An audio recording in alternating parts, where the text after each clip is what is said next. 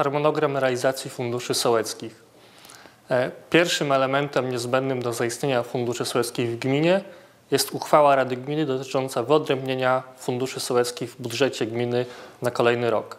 E, Taka uchwała powinna zostać podjęta najpóźniej do 31 marca roku poprzedzającego realizację funduszy sołeckich. Następnie do 31 lipca wójt gminy jest zobowiązany poinformować e, sołtysów o wysokości funduszy przypadających do realizacji na poszczególne e, sołectwa. E, Do, do 31 sierpnia minister właściwy do spraw funduszy sołeckich podaje informację o średniej kwocie bazowej przypadającej na fundusz sołecki.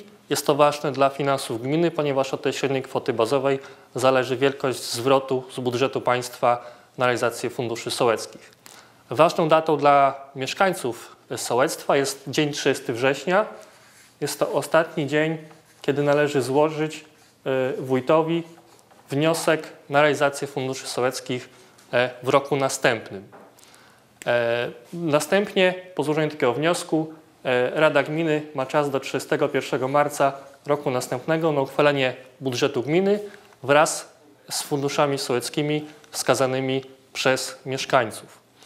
E, Mieszkańcy sołectwa mogą dokonywać zmian e, wraz z złożonym wniosku na realizację funduszu sołeckiego.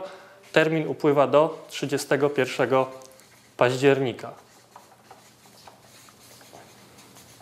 Natomiast wszystkie inwestycje realizowane z Funduszu Sowieckiego powinny się zakończyć wraz z końcem roku kalendarzowego, czyli do 31 grudnia. Przestrzeganie tych terminów przez mieszkańców jest ważne, ponieważ ich przekroczenie bądź niedotrzymanie może skutkować błędami formalnymi, a w konsekwencji odrzuceniem e, wniosku i niemożnością realizacji funduszy sołeckich w danym sołectwie.